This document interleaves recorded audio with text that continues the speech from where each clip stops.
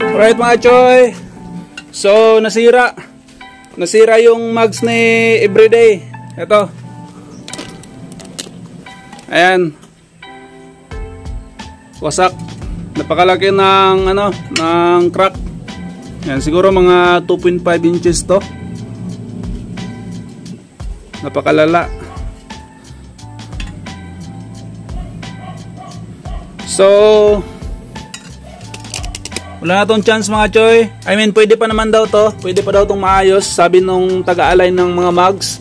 Pero mahal nga lang, 1,000 plus. Then, uh, walang gagawa dito sa amin. So, I think nasa Manila pa yon yung napagtanungan ko.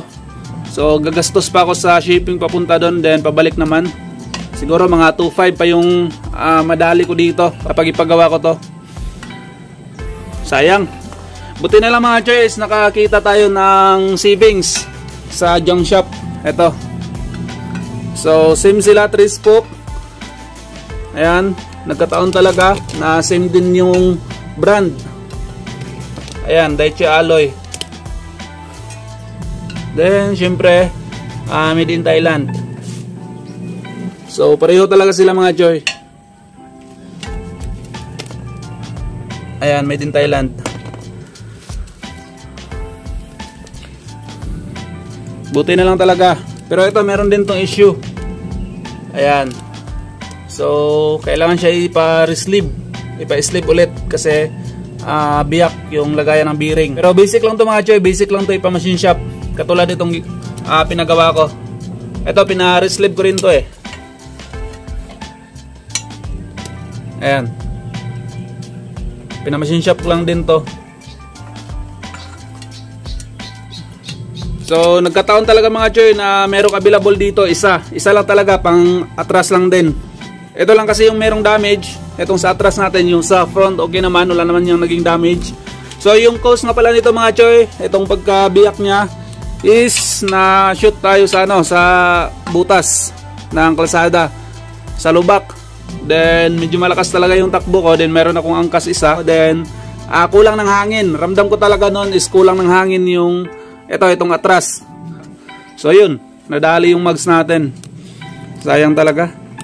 Butas talaga yan mga choy. Ayan, kunting-kunti na lang yan. Matatanggal na to. Itong part na to. Ayan, pakalaki talaga.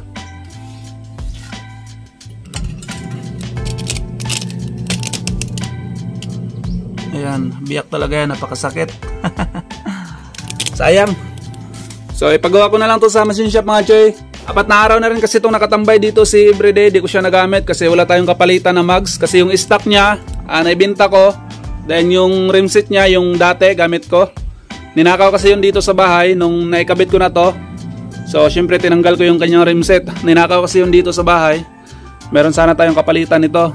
So buti lang talaga guys, nakakita pa tayo ng kapareho talaga niya. So ayun, ay pagawa na lang natin to sa machine shop mga choy. 3 hours later.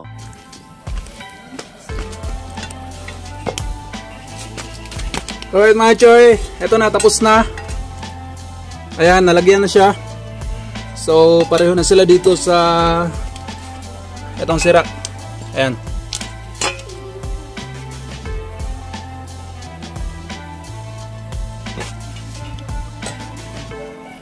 Ayan.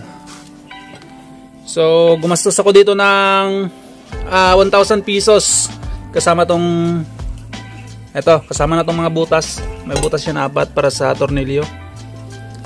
Then, yung material na ginamit nito is propeller ng sasakyan. So, napakatibay nito mga choy. Hindi ito yung ordinaryo na bakal lang na tubo. So, propeller to na sasakyan. Napakatigas ito. Ito, ganun din. Kasi yung gumawa nito, eh, same lang nung gumawa nito. And then, ito, para may kabit natin, lagyan muna natin to ng parang uh, gear type dito katulad dito ayan. Tulad nyan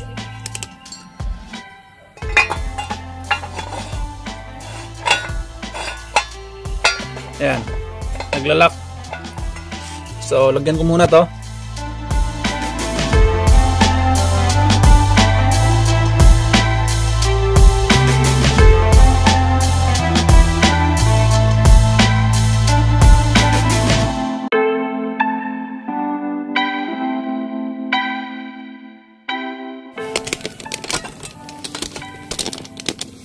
So ayun na mga Joy, tapos na. Yan yung itsura. So ayan, naglalak na siya.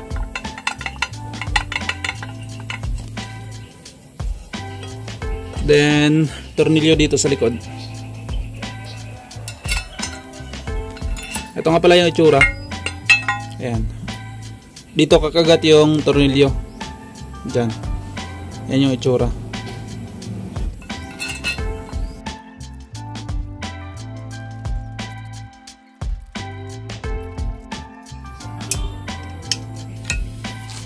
So, ayun na mga Joy, all goods na. Repent na lang yung kulang.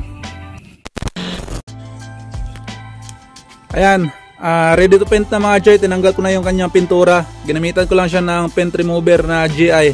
Ito, sa mga hardware meron to. And then ito yung gagamitin kong primer. Ansal na ano, ah, anti-corrosion. Kulay green to. Maganda to gamitin sa mga bakal na front sa kalawang. Tsaka itong mga mugs na kagaya nito. Yung parang asin-asin tawag doon. So ito maganda to gamitin pang primer.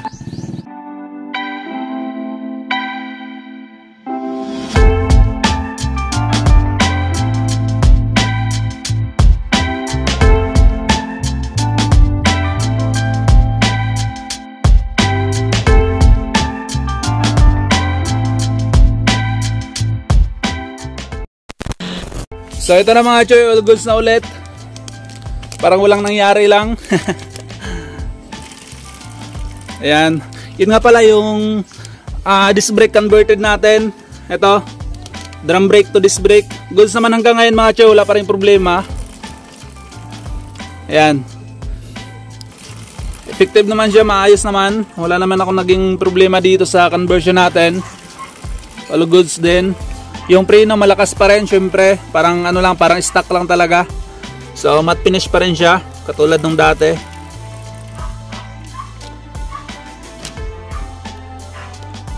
Ayan. Ayan, ganun pa rin yung itsura ni everyday, walang nabago. so, yung swing arm nga pala niya mga choy, gusto ko siyang palitan. Meron kasi ako nakita swing arm sa, uh, sa Facebook page ni Boss Simon, ito. So kukuha tayo nito, ikabit natin dito kay Everyday. Plus to din yan, King Drag yung brand, pang ano, pang Malaysian concept. Then soon, itong braking system niya. Palitan din natin to soon ng uh, magagandang brake system. Nissan, plano ko Nissan eh. Then itong upuan, palitan din natin to ng seat cover. So all good sa mga dyan, ganito lang muna yung content na to. So yun, shoutout muna tayo. So yun mga Joy, pagpasensyahan nyo na medyo natagalan yung pag-upload natin ng mga content kasi sa sobrang busy, sunod-sunod yung nagpagawa sa atin ng repent. Ayan. So yun, uh, shoutout nga pala kay Efren Bersamina, kay Clyde Revena at kay John Motovlog from South Cotabato. Shoutout po sa lahat dyan sa Cotabato. Shoutout din kay Neil Bilyuso from Negros. Shoutout po sa lahat. At kay Elmi Flor Lugarto, kay Andong, kay Alfred Bayutas, and for Dallas, uh, shoutout nga pala kay Angelo Salazar.